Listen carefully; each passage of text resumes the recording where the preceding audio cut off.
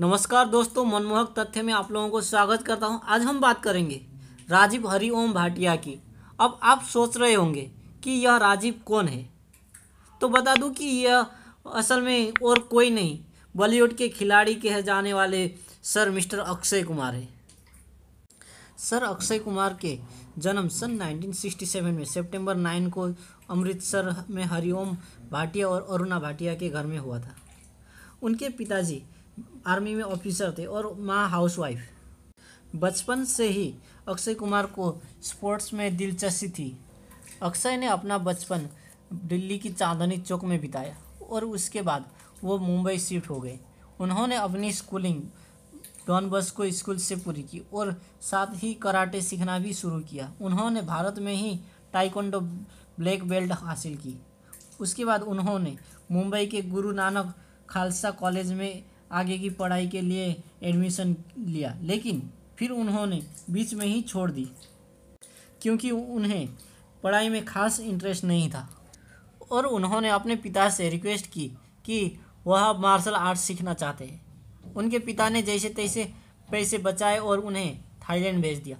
Akshay Bangkok गए, जहाँ उन्होंने मार्शल सीखना शुरू किया और पाँच साल उन्होंने बिताए और थाई बॉक्सिंग भी सीखी। अब आप समझ ही गए होंगे कि अक्षय अपनी मूवीज़ में स्टॉन्स के लिए क्यों फ़ेमस है। उस दौरान उन्होंने वेटर और शेफ का भी काम किया, क्योंकि वो अपने परिवार से और पैसे नहीं लेना चाहते थे, बल्कि अपने दम पर भी कुछ चीज़ सीखना और करना चाहते थे। फिर थाईलैंड से लौटने के बाद उन्होंने कोलकाता में एक ट्रेवल एजेंसी ढाका के एक होटल में और दिल्ली में एक ज्वेलरी स्टोर में भी काम किया।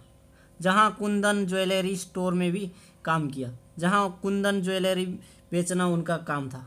उसके बाद जब वह वापस मुंबई लौटे तो उन्होंने मार्शल आर्ट्स सिखाना शुरू किया और उसी दौरान उनके एक स्टूडेंट, जिसके पिता मॉडल कोऑर्डिनेटर थे, उन्होंने अक्षय कुमार को एक फर्नीचर शोरूम के लिए मॉडलिंग असाइनमेंट करने की सलाह दी और फिर शूटिंग के पहले दो दिन के अंदर ही अक्षय कुमार ने इतने पैसे कमाए थे जितनी उनकी एक महीने की सैलरी थी। और इसीलिए उन्होंने सोचा कि क्यों ना मैं मॉडलिंग को ही अपना करियर बना लूँ। और फिर उन्होंने 18 महीने तक फोटोग्राफर जयेश सेठ के पास काम किया। वो भी बिना कोई तनख्वाह लिए। सिर्फ़ इसीलिए ताकि जयेश उनकी पहली पोर्टफोलियो शूट करे। और इसके अलावा वो उस दौरान वह कोई फ़िल्मों में बैकग्राउंड डांसर भी रहे। फिर एक बार अपनी एड शूट के लिए उन्हें बेंगलोर जाना था। पर उन्होंने अपनी फ़्लाइट मिस कर दी और इस बात का उन्हें बहुत ही बुरा लगा।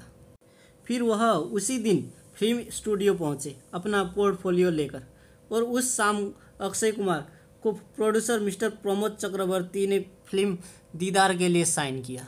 अक्षय कुमार को लीड एक्टर के तौर पर पहली फ़िल्म मिली सन 1991 में, जिसका नाम था सौगंध इसके बाद उन्होंने एक दो और फ़िल्में की, लेकिन वह अपना जादू नहीं चला पाए।